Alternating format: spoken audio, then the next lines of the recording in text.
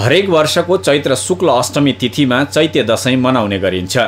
आश्विन शुक्ल पक्ष तिथिमा मनाइने दसैँलाई बडा दसैँ र चैत्र शुक्ल पक्षमा मनाइने दसैँलाई सानो दसैँ भन्ने चलन छ। सानो दसैँमा पनि बडा दसैँकै विधिमा देवी दुर्गा भवानीको पूजा आजा गर्ने गरिन्छ। तर यस दसैँमा भने अष्टमी तिथिमा टिका लगाउने चलन छ। चैत्य दसैँका अवसरमा आज देशका विभिन्न देवी मन्दिरहरूमा भक्तहरूको भिड लागेको छ। काठमाडौँमा रहेका गुहेश्वरी मैती देवी नक्साल भगवती कालिका स्थान भद्रकाली सङ्कटा नरदेवी रक्तकाली शोभा भगवती लगायतका मन्दिरमा देवी पूजा भइरहेको छ।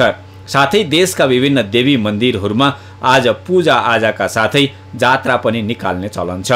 देशैभर आज शक्तिपीठ तथा देवी मन्दिरहरूमा देवी भक्तको घुइँचो लागेको छ। चैत्य दसैँको अवसरमा बागलुङ जिल्लामा अवस्थित बागलुङ कालिका मन्दिरमा विशेष मेला लागेको छ।